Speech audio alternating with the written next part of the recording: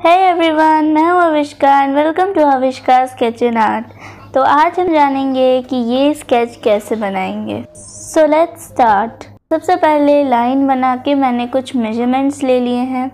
उसके बाद I started with I eyeball बनाने के बाद मैं आईब्रोज बनाऊँगी। और ये बहुत ही इजी आर्ट होता है। अगर आप मेज़रमेंट के हिसाब से अगर बनाएँगे तो ये बहुत ही इजी होगा।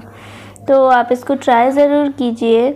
और now I have completed almost completed my sketch और जैसे कंप्लीट होगा, वैसे ही मैं शेयरिंग स्टार्ट कर दूँगी। तो मैंने इसके हैंड्स इसकी ड्रेस जिससे इसने अपना फेस कवर कर रखा है, इसके हेयर सब बना दिए हैं और आइस में शेडिंग स्टार्ट कर दी है। तो मैंने यहाँ पे ब्लेंडिंग स्टम्प लिया है और एट बी पेंसिल ली है इस आइज़ बनाने के लिए। और मैंने ले लिया है नंबर थ्री ब्लेंडिंग सम्स। इससे स्मॉल एरियाज़ में शेडिंग करने में बहुत आसानी होती है। फिर उसके बाद आई स्टार्टेड ऑन हेयर्स। मैंने हेयर्स को शेड दिया है।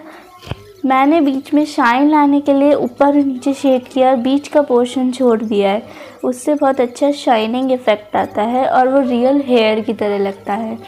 तो मैंने ऐसे शेडिंग कर दी है ऊपर नीचे। मैंने पहले हेयर्स में कर दिया और उसके ऊपर बंस में।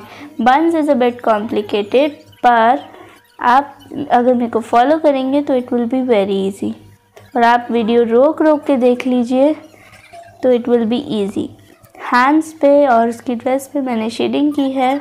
उसके बाद here is my sign thank you for watching this is a final look thank you everyone. And please subscribe to my channel. Like and comment how you like it.